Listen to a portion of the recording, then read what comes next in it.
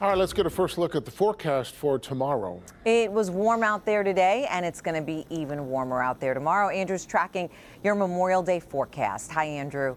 Good evening to both of you. And as early as yesterday, we talked about possibly tying or even breaking some record highs.